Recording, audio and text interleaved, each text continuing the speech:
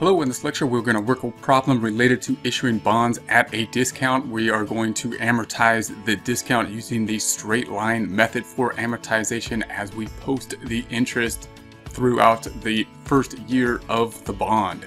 Support accounting instruction by clicking the link below giving you a free month membership to all of the content on our website broken out by category, further broken out by course. Each course then organized in a logical, reasonable fashion, making it much more easy to find what you need than can be done on a YouTube page.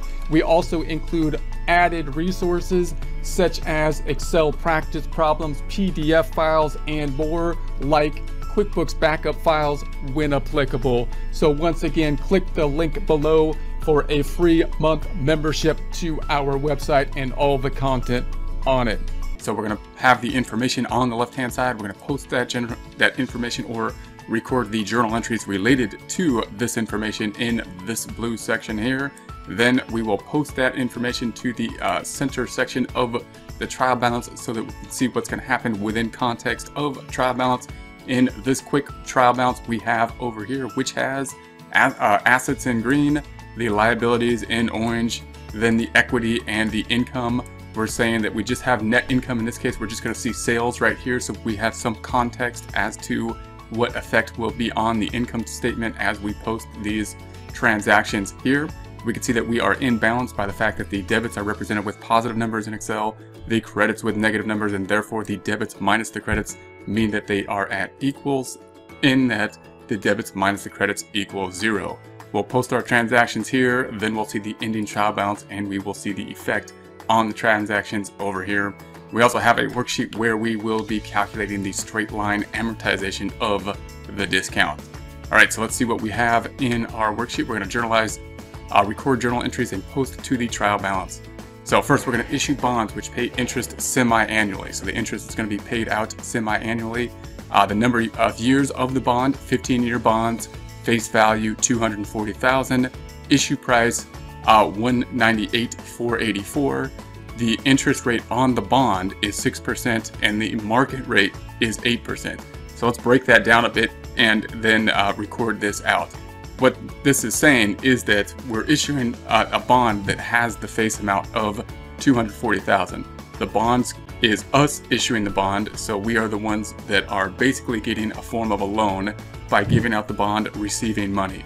The face amount of the bond is uh, two, 240,000. Therefore, we are going to receive money today, and we're going to pay out 240,000 in the future. And the interest that we're going to pay for basically this loan is 6%, which we're going to pay semi-annually. So unlike basically a home mortgage loan, which would be paid monthly, we're going to pay this twice a year rather than each month. Now, the issue with a bond is that if it was a note, then uh, what we would do is probably manipulate the or change the interest rate to match whatever the market rate is. So if we are an investor and we can put our money into similar uh, assets and get a better return, then we will. and uh, in this case, obviously, if we're getting a loan, then we would usually change the interest rates in order to uh, have a competitive rate on the market. The bond, however, you might want to think of it as having already basically been written. So if we have a bond that's basically kind of already written at uh, 240 face value 15 years on the bond and the rate is 6%, that's already there. So you can think of it as already being set in stone we can't change that. Therefore, if we cannot change the interest rate, which is what we would normally change in a note in order to be competitive on the market, the thing that we can change then is how much we sell it for. So even though we're going to pay uh, 240,000 back at, after 15 years plus interest of, of 8%, because an investor in this current market could get a similar note at a market rate of 8%, we are going to have to do something in order to get our bonds out there in order to get the money. What we can do instead of lowering the rate on the bond or, or increasing the rate of the bond to match the market, instead of being able to do that, we can uh, lower the amount of money we're going to receive up front in order to issue the bond. So in this case, we are going to say, okay, I, I know you can get a better rate somewhere else in a similar loan, Therefore, instead of uh, having you pay us the 240, we will uh, give you the bond for 198 484 and that'll basically make up the difference of the fact that uh, we could have this difference in market rates. So that's basically what's going to happen. So let's record this bond out. We're going to say that cash will be here. Is cash affected? We're going to say, yeah, we, we issued the bond. We are the one issuing the bond and we are receiving cash. Cash is a debit balance. We need to make it go up. Therefore, we're going to do the same thing to it, which in this case would be another debit. So I'm going to copy cash.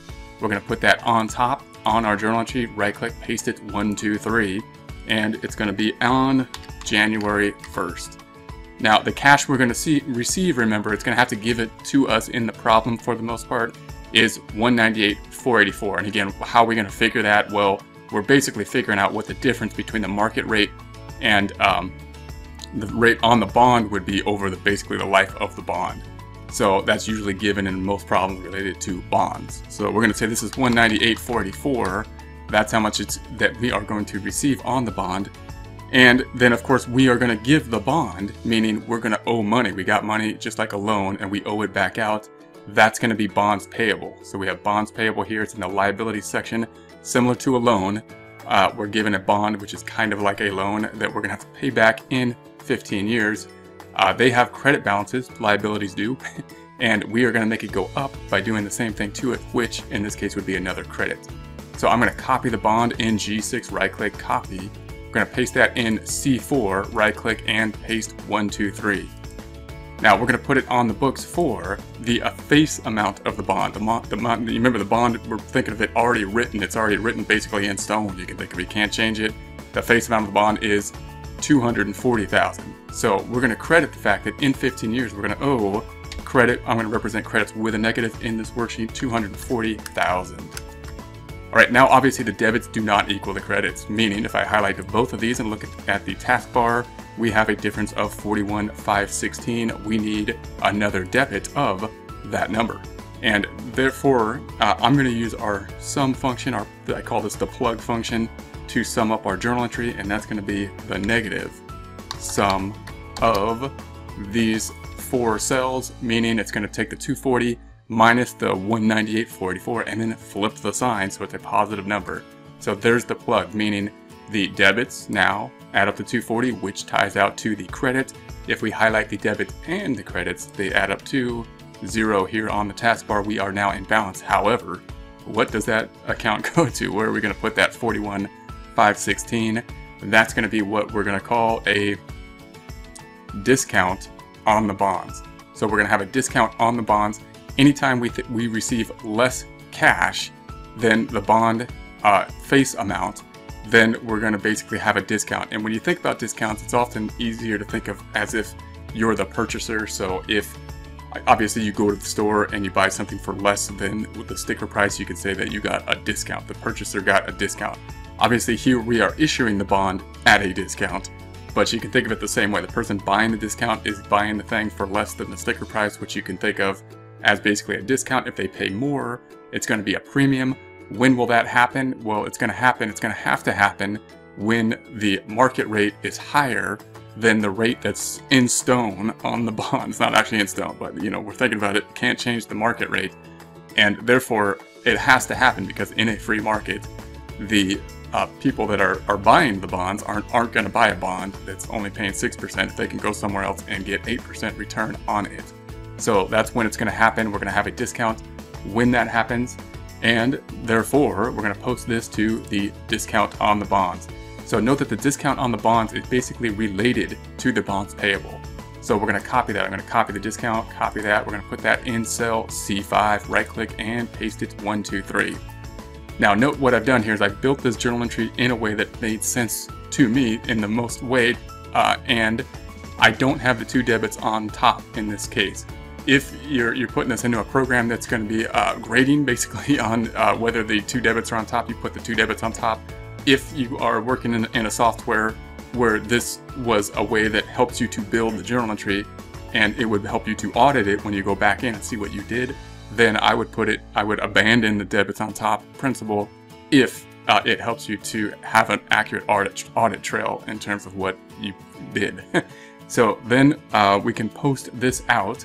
So we're to post out the cash. Here's the cash. Here's the cash here. I'm to post it to the adjusting area in I3. So in I3, we're to say this equals, point to the 198,484.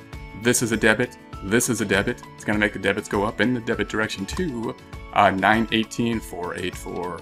Then we're to post the uh, bonds payable, the liability bonds payable, similar to a note. It's in the liability section here. We're going to post that to the adjusting column and see what happens. So we are in I6. We're going to say equals 0.2, that 240, bringing the balance up to a credit of 240. Then we're going to have the discount on the bonds. Here's the discount. Here's the discount here. It's in the liability section. Again, I'm going to go to I7 equals and point to that 41,516, bringing this balance up in the debit direction to, of course, the 41,516. Now, note that this liability is kind of like a contra liability account. Why? Because it's a liability, but you can see it has a debit balance in it. So note that all other liabilities have credit balances. Why would this be in the liability section if it has a debit balance in it?